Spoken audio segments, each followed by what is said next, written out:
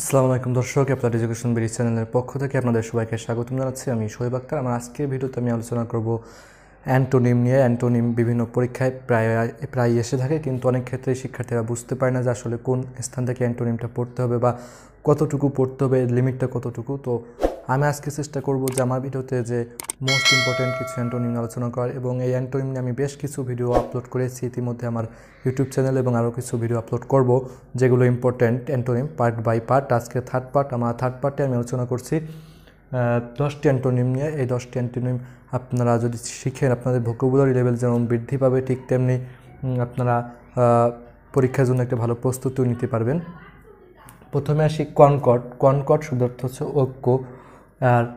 কনকট মানে যদি ঐক্য হয়, তাহলে ঐক্যের বিপরীত শব্দ কি আসে? বিপরীত শব্দ আসে দ্বন্দ্ব।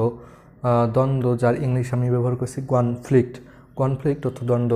তার মানে কনকর্ডের অ্যান্টোনিম আসছে কনফ্লিক্ট পরবর্তী শব্দ লেথার্জিক লেথার্জিক অর্থ হচ্ছে অলস। তো অলস ব্যক্তি, অলস এর অ্যান্টোনিম কি দাঁড়ায়? অলসের অ্যান্টোনিম বা বিপরীত শব্দ দাঁড়ায় সক্রিয়। আর সক্রিয়র ইংলিশ অ্যাক্টিভ তার মানে লেথার্জিক এর অ্যান্টোনিম অ্যাক্টিভ ট্রাজিক ট্রাজিক অর্থ হচ্ছে দুঃখজনক আর দুঃখজনক এর অ্যান্টোনিম হচ্ছে আনন্দদায়ক।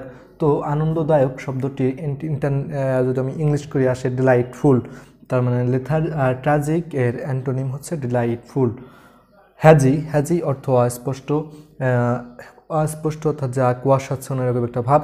তো এর অ্যান্টোনিম আমি ব্যবহার করেছি রোদ ঝলমলে অর্থাৎ সানি পরবর্তী শব্দ হচ্ছে এমিনেন্ট এমিনেন্ট অর্থ প্রখ্যাত। প্রখ্যাত মানে যাকে সবাই চেনে, তাহলে বিপরীত শব্দ দ্বারাই যাকে কেউ চেনে না।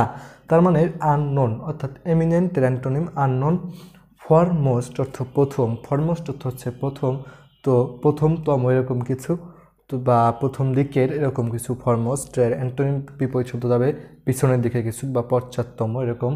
তো হিন্ডমোস্ট এই শব্দটিকে ব্যবহার করেছি অ্যান্টোনিম হিসেবে ফরমোস্ট হিন্ডমোস্ট ইমানসিপেন্ট অর্থ মুক্তি দেওয়া। এর অ্যান্টোনিম হিসেবে ব্যবহার করেছি ইনকারসিরেট। ইমানসিপেট এর অ্যান্টোনিম হিসেবে ব্যবহার করেছি ইনকারসিরেট। পরবর্তী শুধু রেস্টিভ রেস্টিভ অর্থ চঞ্চল, এর অ্যান্টোনিম হিসেবে ব্যবহার করেছি প্যাশেন্ট অর্থ স্থির। রিকালেক্ট অর্থ স্মরণ করা, এর অ্যান্টোনিম হিসেবে স্মরণ ব্যবহার করেছি হচ্ছে যে ভুলে যাওয়া, স্মরণ করা, এর বিপরীত ভুলে যাওয়া মানে ফরগেট মানে ভুলে যাওয়া। লাইনসাম অর্থ বিষণ্ণ, এর অ্যান্টোনিম কী ব্যবহার করা যায়? উল্লসিত। ফেস্টিভ আবার আনন্দিত উল্লসিত বা আনন্দিত, যাই হোক। তো এই ওয়ার্ডগুলো আপনারা চেষ্টা করুন প্রত্যেকটি ওয়ার্ডের মানে জেনে রাখার এবং প্রত্যেকটি বিপরীত শব্দ মনে রাখার। কারণ ইউনিভার্সিটি অ্যাডমিশন টেস্ট বলেন বা বিভিন্ন চাকরির ক্ষেত্রে, অধিকাংশ ক্ষেত্রেই এইভাবে হুবহু আপনার পাবেন বলে আমি আশা করি। দর্শক, আমার পরবর্তী ভিডিও পেতে অবশ্যই আমার চ্যানেলটি সাবস্ক্রাইব করে রাখবেন এবং আপনাদের সকলের প্রতি শুভকামনা জানিয়ে আমার আজকে এই ভিডিওটি এ পর্যন্ত শেষ করছি।